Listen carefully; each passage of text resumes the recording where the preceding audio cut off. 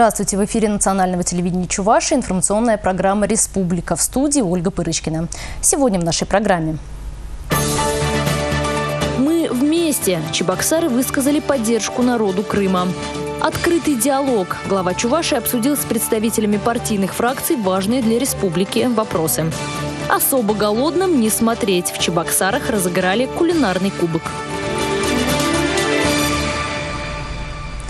Крым выбрал Россию. Подавляющее большинство жителей на референдуме о статусе полуострова проголосовали за присоединение к нашей стране. Буквально за день до этого события свою поддержку автономной республики высказали чебоксарцам. Так многолюдно на Красной площади столицы Чувашии бывает, пожалуй, только в праздники. Но в этот раз другой повод. Перед референдумом о статусе Крыма чебоксарцы провели акцию поддержки. Крыму, когда я жила, было очень много национальностей, сейчас там проживает. Но мы никогда не знали, кто какой национальности. Мы все были русские, мы все были советские люди. И хочется сейчас, чтобы все, кто сейчас там находился, ну просто увидел нашу поддержку. Мы всегда знали, что украинцы и россияне – это одна нация. А, мы солидарны с русскоязычным э, населением Украины. Мы хотим, чтобы они почувствовали нашу поддержку, наше внимание к их событиям. В результате экстремистских действий в Киеве полностью уничтожено здание дома профсоюзов. Конечно же, уничтожена вся инфраструктура, уничтожены все документы. Это, естественно, парализовало всю дальнейшую деятельность по социально-экономической защите прав и интересов трудящихся. Политики, ученые, деятели культуры, представители общественных организаций. Все они, вне зависимости от статуса, высказывали свою поддержку жителям Крыма. Много было молодежи, которую, кстати, так часто обвиняют в отсутствии патриотизма.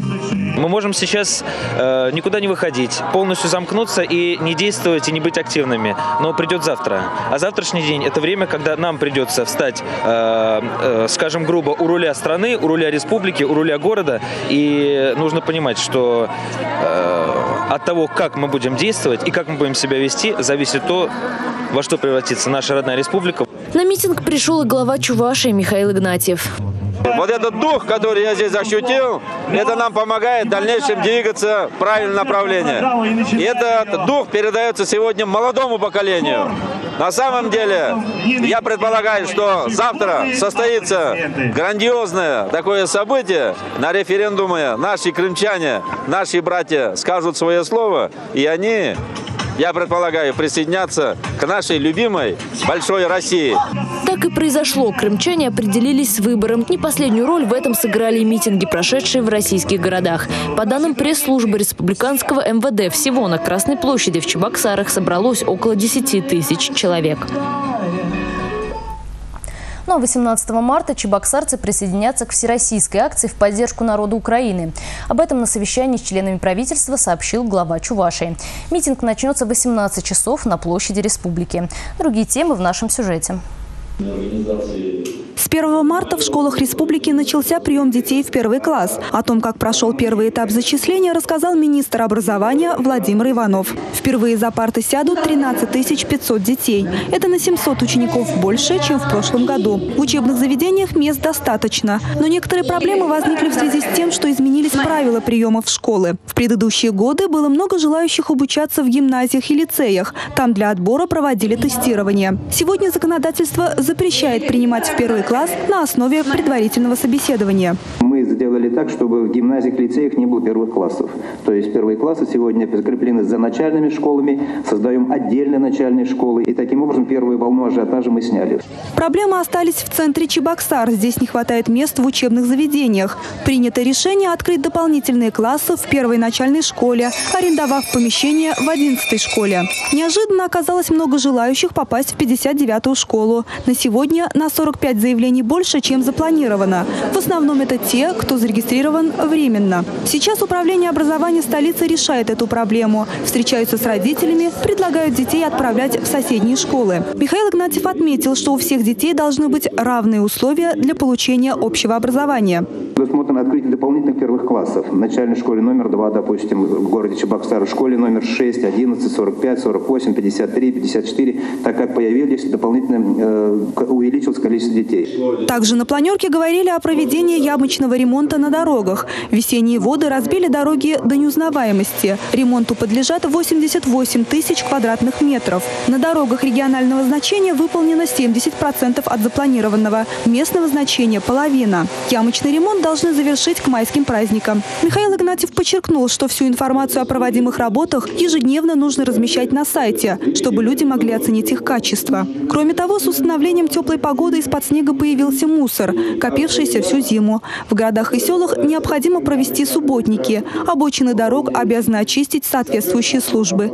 Надежда Яковлева, Сергей Рябчиков, Республика. Обеспечить жильем молодые многодетные семьи и детей-сирот. Оказать поддержку ветеранам, рассчитаться с долгами за газ. Эти и другие вопросы Михаил Гнатьев обсудил на видеоконференции с главами администрации районов и городов. За прошедшие два месяца в эксплуатацию введено около 24 тысяч квадратных метров жилья.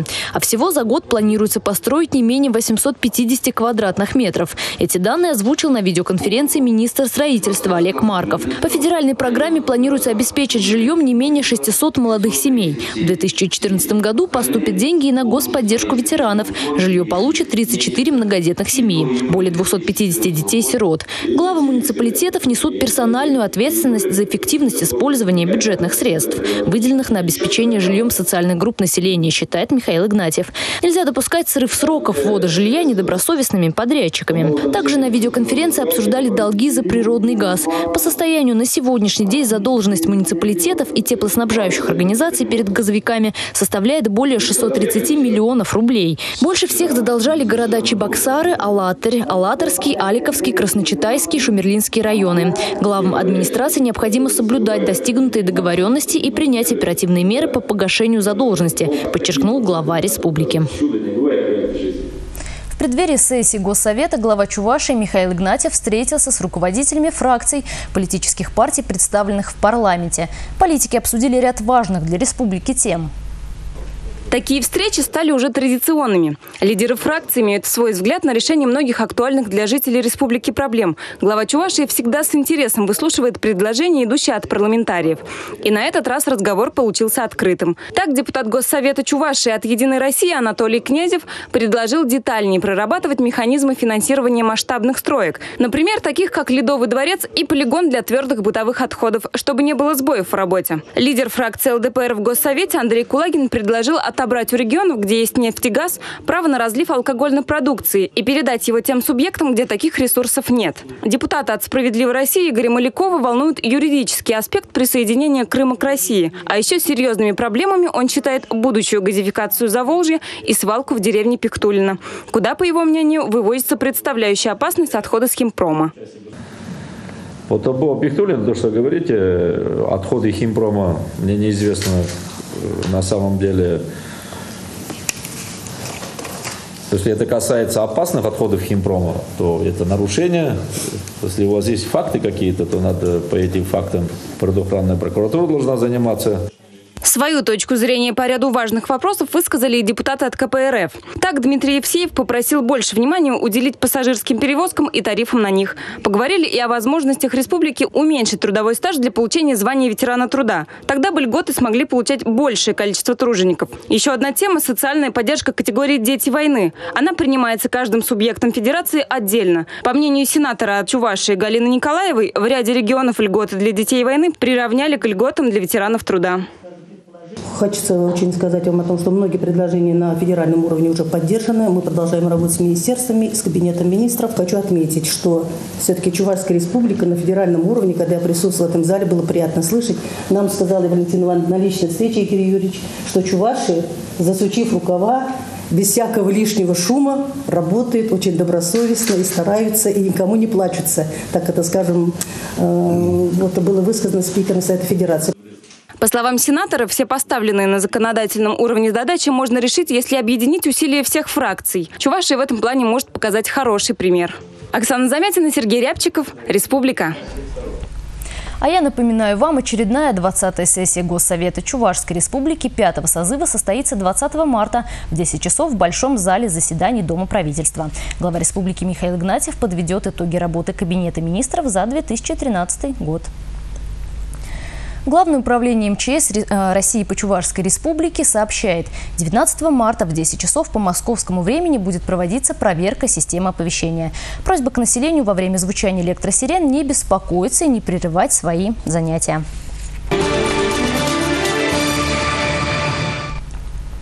Олимпийский сезон в Сочи завершен. Грандиозную церемонию закрытия Паралимпийских игр наш корреспондент видел своими глазами и готов поделиться своими впечатлениями. Сочинская паралимпиада завершилась. Накануне город ликовал. Оно и понятно, ведь российская сборная установила абсолютный рекорд. 80 медалей, причем 30 из них высшей пробы. Побить его будет сложно, об этом говорят многие эксперты. На церемонии закрытия игр чемпионы главные герои. Именно они вынесли на арену стадиона «Фишт» российский флаг. К слову, это шоу вживую смотрелось не хуже, чем на голубых экранах. Сидя на трибунах, можно увидеть то, что по телевизору не покажут. К примеру, символическая огненная чаша появилась на арене при помощи специального специального подъемника. Все это время декорации находились под трибунами. Вообще церемония закрытия Паралимпиады произошла все ожидания. Это отмечали многие. Здесь звучала и оперная музыка, и даже модные хиты от известного на весь мир диджея. Но все это уже история. Олимпийская столица пустеет на глазах. Отсюда уезжают спортсмены, судьи и волонтеры. Делегация из Чувашии, в составе которой и представители Министерства спорта, и журналисты находятся на пути домой. Уставшие, но ужасно довольные. Ведь все мы стали свидетелями грандиозной Паралимпиады. Дмитрий Ковалев, Республика из Краснодарского края. Внимание! Следующий сюжет на голодный желудок смотреть не рекомендуется. В минувшие выходные за кулинарный кубок Чувашской республики боролись молодые повара. Пропустить такое вкусное событие наша съемочная группа не могла. Разделать, нашинковать, замариновать, пожарить, сервировать. На приготовление кулинарных шедевров дано всего лишь 90 минут. Раскаляются сковороды и дух соперничества, кипят соусы и страсти. Это как раз тот случай, когда можно сказать, жаль, что телевидение не передает запахов. Сейчас здесь готовится блюдо национальной кухни. Это один из этапов республиканского кубка молодых поваров. Говорят, двум хозяйкам не ужиться на одной кухне. Здесь же локоть к локтю работают несколько команд, в каждой по три человека. И это не только представители Чуваши. Есть повара и кондитеры из соседней Марийской республики и из Пензенской области. В номинации «Национальный обед» каждая команда должна подать холодную или горячую закуску, горячее блюдо с гарниром и десерт. Огромный плюс, если участники сумеют обосновать свой выбор. Это древнерусское блюдо, оно значит национальное и пришло с нас к нам с древних веков. А почему именно судак? Потому что раньше в России была рыбная ловля, хорошо была развита. И, значит, все время был судак. А вот особенно приятное зрелище. Мужчина у плиты готовит мясо. Когда я был маленький, ну, любил готовить, и мне посоветовали друзья ну, поступить в свой колледж. Вот я поступил. Кстати, начинается конкурс задолго до того, как жюри попробует приготовленное. Задача членов жюри заключается оценить весь технологический процесс приготовления кулинарного блюда, включая соблюдение всех гигиенических нормативов, включая культуру приготовления, это культуру, хотите, представления, это культуру одежды. Неспроста одной из номинаций конкурса сделали национальный обед, ведь в чувашской кухне есть что показать. Увлечение там э, кухнями европейскими, в том числе там суши, роллы, я считаю, что мы все-таки в республике должны пропагандировать свою кухню. Тем более, если есть что показать. Наверное, привыкли, что в чувашской кухне а, есть в основном мясные блюда. Но чувашская кухня, она очень разнообразная. Там очень много интересных десертов. Например, саблепихи, из рябины, есть муссы, есть желе. Показать действительно есть что, а главное, есть те, кто все это готовит. И очень важно, чтобы эти таланты не уезжали работать в столицу или за пределы нашей страны, а радовали хорошей кухни жителей своих городов и регионов. На это и направлены усилия организаторов подобных фестивалей. Ольга Пырочкина, Сергей Рябчиков, Республика. Как люблю я цветение сирени, словно в детстве светлеет душа, и как стражи из прошлого тени окружают меня не спеша. Эти строки написала, написала Светлана Гордеева, писательница и по совместительству художница. На днях в галерее 6 на 7 открылась ее выставка.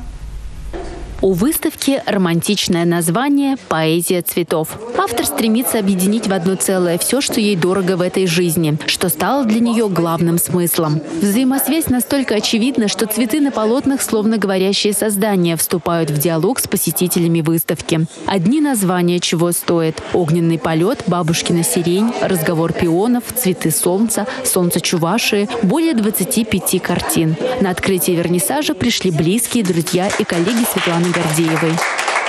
У меня нет никаких слов. У меня есть дочь. Она вам свой, свой талант вот выставила.